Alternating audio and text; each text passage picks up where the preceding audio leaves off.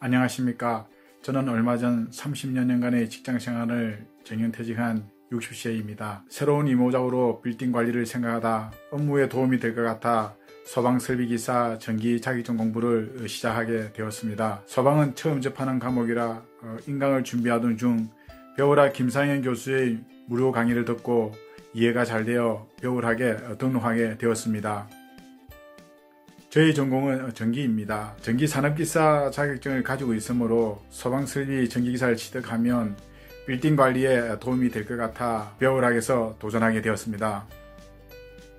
체감 난이도는 중상 정도 된 것 같습니다. 제가 전기 전공자라 소방원론과 법규는 어려웠습니다. 어려운 이유는 처음 접하는 용어와 기준 숫자가 많아 암기하는데 어려움이 있어서 암기 노트를 통해 반복으로 외우는데 많은 시간을 사용한 것 같습니다. 특히 법규 과목 중 벌칙 정리가 있는데 소방기본법 등 4가지 법을 외우기에 무척 힘이 들어 4가지 법을 액수에 맞게 적어보는 것이 암기하는 데 좋았던 것 같습니다. 상대적으로 전기 과목은 또한 저의 전공이라 이해가 되기에 조금 쉬웠던 것 같습니다. 저는 인강을 빠짐없이 들으면서 교수님의 중요 포인트를 행강편으로 체크하며 이해하였고 기출 문제를 풀면서 어, 맞은 문제를 행강편으로 표시하면서 반복적으로 공부한 것이 어, 합격에 도움이 된 것 같았습니다. 인강을 통해 교수님의 강의를 이해하는 것이 첫 번째이고 두 번째는 암기하는 것이 중요한데 이것은 김상현 교수님의 앞자리 따서 외우는 방법이 많은 도움이 된 것 같습니다. 예를 들어 소방원로 위험물 유별 성질에서 앞자리를 따서 상가 자금 인자산으로 외우니 인류 위험물에서 용류 위험물까지 쉽게 암기하게 되었습니다.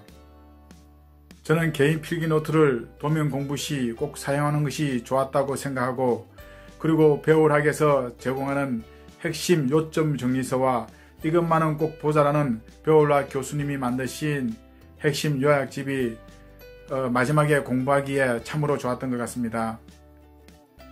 소방원론의 김상현 교수님의 이해를 돕기 위하여 도표와 그림을 그리면서 설명한 내용과 소방전기시설의 구조 및 원리의 김대관 교수님의 사진을 통해 각 소방시설의 구조를 설명할 때 이해가 쉽게 되었습니다.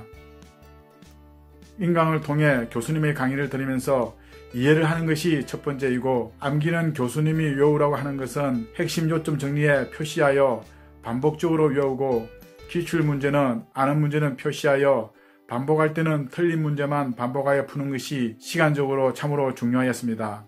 필기 준비가 잘 되신 분은 시기까지 한 달의 시간은 배우라 강의를 통하여 충분히 준비할 수 있다고 생각되어집니다. 소방설비 기사 수험생 여러분의 합격을 기원합니다.